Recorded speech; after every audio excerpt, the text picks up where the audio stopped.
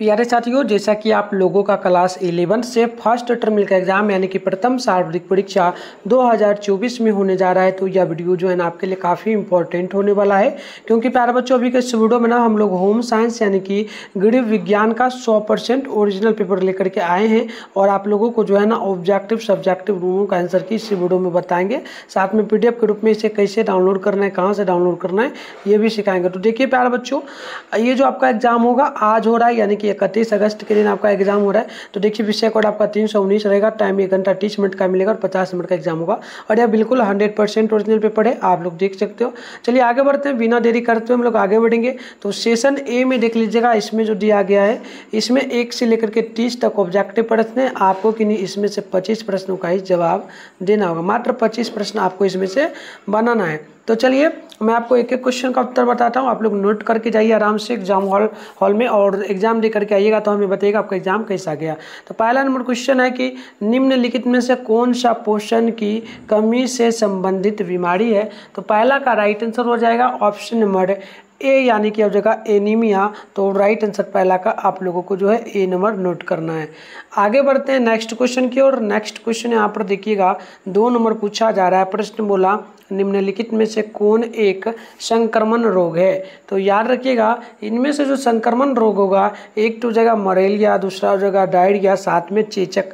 तो आपको नोट करना है इनमें से सभी। तो राइट आंसर जो है डी नंबर बिल्कुल करेक्ट हो जाएगा। आगे बढ़ते हैं तीन नंबर क्वेश्चन की ओर। प्राकृतिक प्रतिरक्षा जो है ना आ, ये किसमें आती है? तो याद रखिएगा किस राइट आंसर जो तीन का होगा ऑप्शन ए हो जाएगा। नोट करना है जमजात से ठीक है? तो राइट आंसर ऑप्शन ए जो है बिल्कुल राइट होगा। आगे बढ़ते हैं, चार नंबर क्वेश्चन की ओर ये बोला, निम्नलिखित में से कौन सी बीमारी संदू जो ना संदूषित जल से होती है? तो बिल्कुल याद रखिएगा, चार का right answer option number D होगा। ये आपको याद रखना एक तो डायरिया के कारण, साथ में अतिसार और टाइफाइड के कारण। तो आपको नोट करना है, इनमें से सभी तो राइट आंसर डी बिल्कुल जो है करेक्ट हो जाएगा। आगे हम लोग बढ़ते हैं। पाँच नंबर प्रश्न आप लोगों से पूछा गया, ये बोला, रोग के कीटाणुओं से के शरीर में प्रवेश करने से लेकर उत्पन्न होने की समझ जो ना समय अवधि को क्या कहा जाता है? तो आप पाँच का नोट करेंगे। ऑप्शन बी होगा ये का उद्भवन काल, यानी कि right answer option number B जो है, बिल्कुल करेक्ट हो जाएगा। आगे बढ़ते हैं। क्वेश्चन नंबर देखिए यहाँ पर छः नंबर आप लोगों से पूछा गया।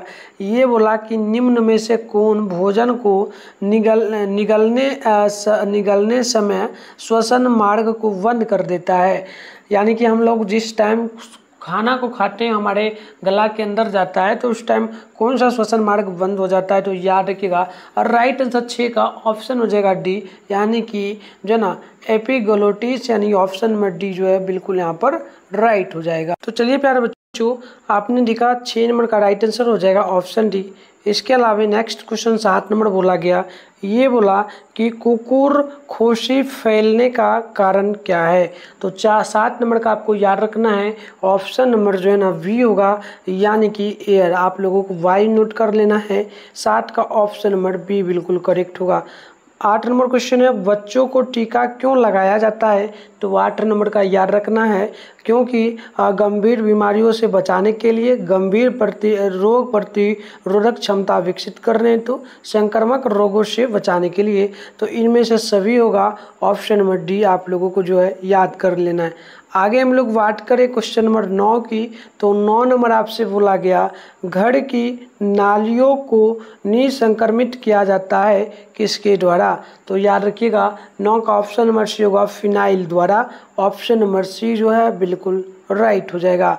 दस नंबर क्वेश्चन है, निम्नलिखित में से कौन जो ना कीटाणु शोधन का भौतिक तरीका है? तो आप याद रखिएगा दस का, बिल्कुल करेक्ट आंसर ऑप्शन डी होगा। यानी कि ये हो जाएगा इनमें से कोई नहीं। ऑप्शन डी आप लोगों को नोट कर लेना है दस नंबर प्रश्न का, ठीक है? आगे बढ़ते हैं क्वेश्चन नंबर ग्यारह की ओर। ये बोला, ओ ओ पी दी जाती है किसमें? तो याद रखिएगा प्यारे बच्चों, ये दिया जाता है, जो है ना, मुँह में बूंद के रूप में ड्रॉप इन द माउथ यानी ऑप्शन नंबर ए बिल्कुल करेक्ट हो जाएगा। आगे बढ़ते हैं नेक्स्ट क्वेश्चन जो है ना, बारह नंबर पूछा गया है। प्रश्न बोला है टेटनस जीवाणु कहाँ पाया जाता है? तो बारह का right answer option number D होगा। आप लोगों को जो है ना नोट करना है, ये क्या हो जाएगा? बिल्कुल, बारह नंबर का डी यानी कि इनमें से सभी। एक तो गोबर में, साथ में जंग लगे हुए में मिट्टी में। तो ऑप्शन डी बिल्कुल करेक्ट होगा नोट करना है। बात करें क्वेश्चन नंबर तेरह की तो डेंगू फैलना क्या है? तो तेरह का राइट आंसर हो जाएगा ऑप्शन सी यानी कि एक देखिएगा, दूषित जल से डेंगू फैलता है, वायु, दूषित वायु से मच्छर के कटने से। तो इनमें से सभी हो जाएगा डी नंबर आपको याद कर लेना है। आगे बढ़ते हैं। चौदह नंबर क्वेश्चन बोला गया संक्रमण फैल सकता है किसके द्वारा? तो आप चौदह का नोट करेंगे। एक तो फैलेगा जो ना, मल के संपर्क में आने से दूषित भोजन या पानी के अंताग्रहण से, त्वचा के संकर्प में आने से तो यहाँ पर बिल्कुल ऑप्शन डी करेक्ट होगा। आपको इनमें से सभी याद कर लेना है। आगे बढ़ते हैं। पंद्रह नंबर क्वेश्चन यहाँ पर पूछा गया है। ये प्रश्न आपसे बोला जा रहा है कि बताइए निम्नलिखित में से कौन एक गैर सं, संचारी रोग है? तो देखिएगा पंद्रह का राइट आंसर ऑप्शन सी होगा। नोट करना है हृदय घात यानी कि हार्ट अटैक कह सकते हो। ऑप्शन सी बिल्कुल जो है राइट हो जाएगा। आगे क्वेश्चन नंबर सोलह है। निम्नलिखित में से कौन सा रोग वायरस के कारण होता है। तो सोलह का राइट आंसर ऑप्शन आपको ए नंबर नोट करना है। इनफ्लू जो ना इनफ्लू लेंजा यानी कि ऑप्शन ए बिल्कुल राइट हो जाएगा। आगे क्वेश्चन नंबर सत्रह है। शरीर में शरीर में रोगों से लड़ने की क्षमता को क्या कहा जाता है? तो सत्रह का ऑप्शन डी होगा नोट करना है। रोग प्रतिरोधक क्षमता ऑप्शन नंबर डी आप लोगों को जो है याद कर लेना है। आगे बढ़ते हैं। अगली क्वेश्चन है अठारह नंबर। अठारह नंबर देख लीजिएगा, प्रश्न क्या बोला आप लोगों से कि बताइए, यदि कोई बीमारी किसी गैर मानव या जानवर से होता है तो उसे क्या कहा जाता है? तो अठारह का ऑप्शन नंबर जो है ना डी नंबर आपको नोट करना है, ये हो जाएगा इनमें से कोई नहीं, ठीक है?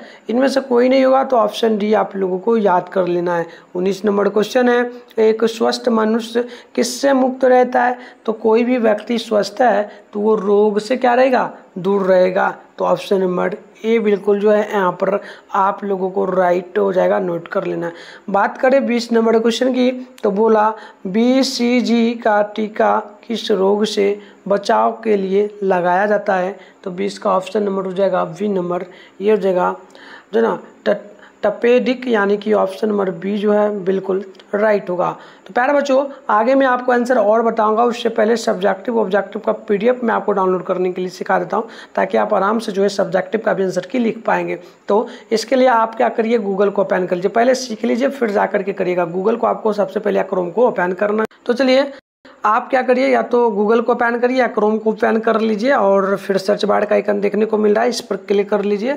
और अभी आप इस चैनल पे जो वीडियो देख रहे हो चैनल का नाम है मिट्टून स्टडी सेंटर तो आप लोगों को मिट्टून स्टडी सेंटर सर्च कर लेना है। मिट्टून स्टडी सेंटर आप लोग सर्च कर लेंगे। फिर थोड़ा सा ऊपर करिएगा फ़र्स्ट में मिट्टून स्टडी सेंटर का ऑफिशियल वेबसाइट देखिए, मिल जाएगा, इस पर क्लिक कर लेना क्लिक करने के बाद इस प्रकार से इंटरफेस पेन होगा। मैं इसको डेस्कटॉप मोड से हटाता हूँ। इस प्रकार से आपके फ़ोन में जो है ना ओपन होगा, आराम से स्कॉल डाउन करना है, नीचे चले आना है। नीचे आइएगा तो क्लास एलेवेंथ का सेशन आपको देखने को मिल जाएगा। तो देखिए क्लास एलेवेंथ लिखा मिल रहा है। Bihar board class eleventh first exam दो हज़ार चौबीस, यहाँ पर लिखा है, इस पर आपको क्लिक करना है। क्लिक करने के बाद इस प्रकार से इंटरफेस पेन होगा। आराम से स्कॉल डाउन करना है, नीचे चले आना है, नीचे आइएगा तो यहाँ पर जो है साइंस का सेशन था, थोड़ा और नीचे आना है। यहाँ पर देखिएगा आर्ट्स का सेशन है होम साइंस लिखा हुआ मिल रहा है, ठीक है ना? तो यहाँ पर होम साइंस के सामने डाउनलोड लिखा है डाउनलोड पे क्लिक करिए। क्लिक करने के बाद पेज को ज़रूर रिफ्रेश कर लीजिएगा रिफ्रेश नहीं करिएगा तो आंसर की नहीं दिखेगा। रिफ्रेश कर लेना नीचे की ओर खींच के, फिर आपको नीचे आना है और यहाँ ऑब्जेक्ट ग्रुप का लिंक मिलेगा, इसे ज्वाइन भी कर लेना है ज्वाइन आप क्लिक करके, क्योंकि आगे भी सितंबर मंथ में एग्ज़ाम होगा, उसमें भी आपको हेल्प मिलेगा। आगे बढ़ेंगे तो यहाँ पर देखिए ऑब्जेक्टिव का जो भी मैं सही से आंसर बता रहा हूँ, पहला का ऑप्शन ये बताया था, दूसरा का दिस, सारा यहाँ पर देखिए दिया जा रहा है। तो आप इसको लिख लीजिएगा तीसों क्वेश्चन का उत्तर है।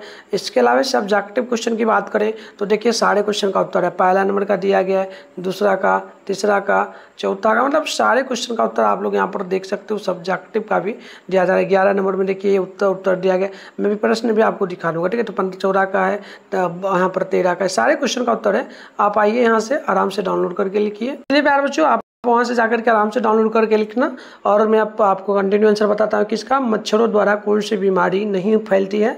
तो इक्कीस नंबर का आपको याद रखना ऑप्शन डी होगा छेड़ होगा ऑप्शन नंबर डी आप लोगों को नोट करना है। चौबीस, बाईस नंबर है कि निम्नलिखित में से कौन जो ना डिफिलिसिया का लक्षण है। तो आपको याद रखना है, बाईस का ऑप्शन नंबर सी हो जाएगा। नोट करना है, गले में झिल्ली का बनना ऑप्शन सी बिल्कुल राइट होगा। आगे बढ़ते हैं, तेईस नंबर क्वेश्चन बोला जा रहा है आप लोगों से। प्रश्न बोला कि पागल कुत्ता के काटने से कौन सी बीमारी होती है?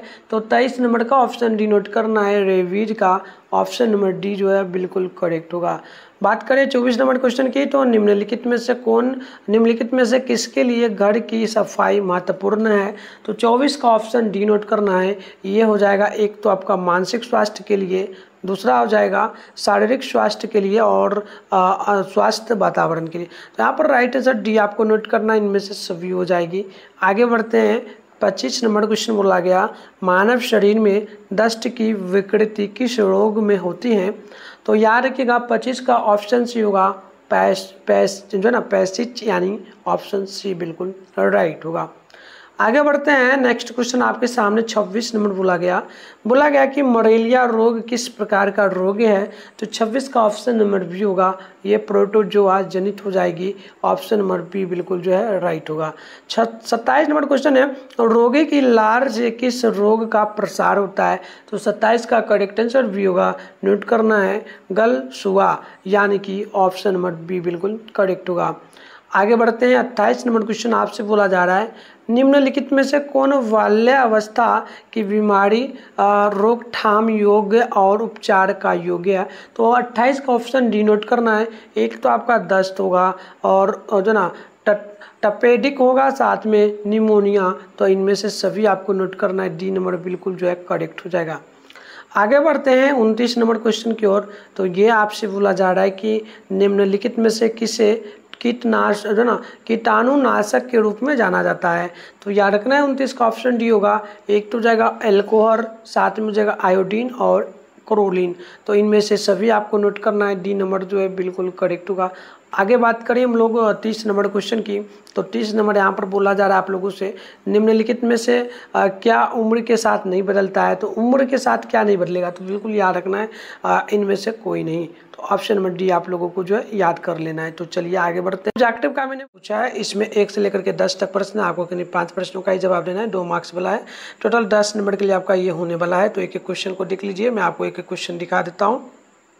पहला नंबर क्वेश्चन है कि बताइए संक्रमक रोगों के नाम लिखे, दूसरा है संक्रमण के मार्ग कौन कौन से हैं? तीसरा नंबर है, भोजन और जल द्वारा संक्रमण कैसे फैलता है? आगे देख लीजिएगा, चार नंबर क्वेश्चन आपसे यहाँ पर बोला गया, जल जनित बीमारी क्या है और पांचवा है, रोग प्रतिरोध क्षमता से क्या समझते हैं? ठीक है? आगे देखिएगा छः नंबर क्वेश्चन बोला जा रहा है कि हाथ धोने में किन ही किन चीज़ों की आवश्यकता होती है? और सात नंबर क्वेश्चन है, रासायनिक समी, रासायनिक टीका जो ना, कीटाणुनाशक क्या है? और आठ नंबर है, पोलियो के क्या लक्षण है? आगे बढ़ते हैं तो क्वेश्चन यहाँ पर जो है नौ नंबर है, प्राकृतिक प्रतिरोध क्षमता क्या है? इसके अलावे दस नंबर है कि किसी रोगी के घर को कैसे विष जो ना, विष संक्रमित किया जाता है? तो ये शॉर्ट क्वेश्चन था दस नंबर के लिए, ठीक है? मैं इसका भी उत्तर बताऊँगा टेंशन आपको बिल्कुल नहीं लेना है। चैनल को सब्सक्राइब कर लेना, अगर पहली बार आ रहे हो हमारे चैनल पे तो ठीक है? चलिए, बढ़ते आगे, यहाँ से देखिएगा, अब जो बोला, अब है, इसमें दीर्घ उत्तर प्रश्न, इसमें ग्यारह से पच्चीस, पंद्रह तक प्रश्न आपको पाँच तीन प्रश्नों का ही जवाब देना है, पाँच नंबर वाला है। टोटल पंद्रह नंबर आपको यहाँ पर मिलने वाला है। तो मैं आपको एक एक क्वेश्चन दिखाता हूँ। पहला क्वेश्चन देख लीजिएगा। बोला गया, डेंगू होने के कारण लक्षण एवं बचने के उपाय लिखे। ठीक है? और बारह नंबर है बच्चों को विभिन्न प्रकार की बीमारी से किन, किस प्रकार रक्षा करनी चाहिए? तेरह नंबर है। उस बीमारी का वर्णन करें, जिसके लिए बच्चों को बीबीसी बीसीजी का टीका लगाया जाता है। आगे यहाँ पर देख लीजिए। यहाँ पर क्वेश्चन नंबर देखिए, चौदह है।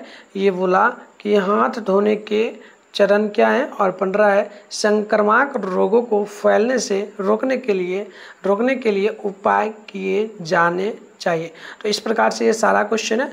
चलो, इसका क्वेश्चन में आप सब्जेक्टिव का आंसर की दिखाता हूँ। तो देखिए, यहाँ से उत्तर आपका स्टार्ट हो जाता है। जैसे कि शॉर्ट क्वेश्चन यहाँ पर देखिएगा आप लोग, ठीक है? शॉर्ट क्वेश्चन में देखिएगा ना तो यहाँ पर जो है पहला नंबर क्वेश्चन का उत्तर दिया जा रहा है, ठीक है? पहला का ये उत्तर होगा, आप लोग यहाँ ध्यानपूर्वक देख लीजिए। जैसे कि उत्तर होगा फ्लू, खसरा, जो ना, N H I V strep throat, covid nineteen और सालोमो साल, सालमोनेला सभी संक्रमक रोगों के उदाहरण हैं। कैंसर, मधुमेह कंजेट स्टीव हार्ड फ्रेयल और एक जो ना अल्जाइमल रोग सभी गैर संक्रामक रोगों के उदाहरण। तो इस प्रकार से पहला क्वेश्चन का उत्तर होगा। मैं भी रुकिए, आप लोगों को उत्तर भी डाउनलोड करने के लिए सिखाऊँगा। पीडीएफ के रूप में जाके लिख लेना। वीडियो में लिखना थोड़ा आपको मुश्किल होता है ना, इसलिए मैं आपको सिखा दूँगा। चलिए, यहाँ दो नंबर क्वेश्चन का उत्तर होगा। कुछ रोग पैदा करने वाले बैक्टीरिया और वायरस मुँह, नाक, गले और श्वसन तंत्र में फैलते हैं। वे संक्रमित व्यक्तियों के खांसने, छींकने से निकलने वाली बूंदों के सीधे संपर्क में आने या या फिर गंदे हाथों पर लार या जो ना बलगम के माध्यम से फैल सकते हैं। तो इस प्रकार से दो नंबर क्वेश्चन का प्रॉपर सही उत्तर हो जाएगा। बात करें हम लोग सात तीन नंबर क्वेश्चन के उत्तर की तो इसका जो उत्तर होगा, आपको देखना है, उत्तर होगा, भोजन और पानी से होने वाली बीमारी, जिसे अक्सर खाग विषा विषाक्तता के रूप में भी जाना जाता है। आमतौर पर बैक्टीरिया, परजीवी या वायरस वायरस से दूषित भोजन या पेय पदार्थ खाने या पीने से होती है। ये जीव जानवरों जैसे, और संक्रमित रोगों के मल में फैलते हैं। इसके अलावे आगे बढ़ते हैं। चार नंबर क्वेश्चन का उत्तर देख लीजिएगा। इसका जो उत्तर होगा, प्यारे बच्चों, ये हो जाएगा आपका कि जल जनित रोग बीमारियों का एक समूह है जो दूषित पानी या भोजन के माध्यम से हानिकारक वायरस, बैक्टीरिया और अन्य रोगजनकों वाले मल के संपर्क में आने से फैलता है। जल जनित रोग भारत में होने वाली सबसे आम बीमारियों में से एक है। भारत के योजना आयोग के अनुसार भारत की पचासी प्रतिशत आबादी जल के अवसंरचना द्वारा कवर की गई है। आगे बढ़ते हैं। सात, पाँच नंबर क्वेश्चन का उत्तर यहाँ पर होगा। देख लीजिएगा, ध्यानपूर्वक उत्तर होगा कि ये बोला जा रहा है आप लोगों से उत्तर इसका कि रोग प्रतिरोधक क्षमता को अंग्रेज़ी में जो ना यूम्यूनिटी यूमिनिटी कहते हैं, या शरीर को बीमारियों से लड़ने की शक्ति प्रदान करता है। रोग प्रतिरोधक क्षमता में खान पान और जीवन शैली की बड़ी भूमिका होती है, जिसका प्रयोग प्रतिरोधक क्षमता कमज़ोर होता है। वो अधिक बीमार पड़ते हैं। तो इस प्रकार से 10 नंबर क्वेश्चन का उत्तर आपका कंप्लीट होगा। 10 नंबर के लिए दो मार्क्स मिला था, पाँच क्वेश्चन बना था। अब देखो लॉन्ग क्वेश्चन स्टार्ट होता है। लॉन्ग क्वेश्चन की अगर बात करें तो इसमें हम 11 नंबर का उत्तर दिए तो यहाँ पर देखिए आपके सामने, डेंगू देखिए, डेंगू बुखार से जुड़ी खास शर्तें। तो पहला यहाँ पर देखिए दिया जा रहा है क्या? पहला हो जाएगा कि डेंगू, बुखार डेंगू से, डेंगू चूँकि बुखार वायरस, डेंगू वायरस से संक्रमित मच्छर के काटने से भी होता है यह बीमारी गंभीर फ्लू जैसी होती है। डेंगू से बचने का सबसे अच्छा तरीका है मच्छरों के कटने, काटने से बचना। और देखिए इसी में ग्यारह नंबर का ही उत्तर बहुत लंबा होगा। आपको मैं इसका पीडीएफ अभी बताऊँगा डाउनलोड करने के लिए, वीडियो में बने रहिए। देखिए, डेंगू से बचने के लिए ये उपाय अपनाना चाहिए। पहला, कीट जो ना, विसर्जक का इस्तेमाल करें। ढीले ढाले लंबी आस्टीन वाली शर्ट और पैंट पहने। घर के अंदर एयर कंडीश, जो ना, कंडी कंडीशनिंग का इस्तेमाल करें। और खिड़की और दरवाजे में जाली लगाएँ। साथ में सोने के लिए, सोने के लिए मच्छरदानी का इस्तेमाल करें। इसके बाद अब आ जाएगा इसका लक्षण। डेंगू के काटने का जो लक्षण है मतलब क्या क्या लक्षण दिखता है? तो देखिए, कभी भी आपको 104 एफ़ यानी कि 40 डिग्री तक का 40 डिग्री सेल्सियस तक का तेज बुखार हो जाए या फिर तेज सिर दर्द हो, आँखों के पीछे दर्द हो और जी, जो ना मिचलाना या उल्टी लगना या फिर ग्रंथि में सूजन सूजन होना या फिर जो है जोड़ों, हड्डियों और मांसपेशियों में दर्द हो या फिर त्वचा पर लाल चमकते धब्बे हो जाए। तो आप समझ लीजिएगा आपको जो है क्या हो गया, आपको हो गया डेंगू जो ना कौन सा रोग? तो देख लीजिएगा, डेंगू डेंगू के काटने से बीमारी हो गया। तो इस प्रकार से देखो, इसे लिखोगे तो आपको वीडियो में बहुत लंबा टाइम लगेगा। इसलिए मैं आपसे रिक्वेस्ट करूँगा, आप लोगों को जैसे सिखा रहा हूँ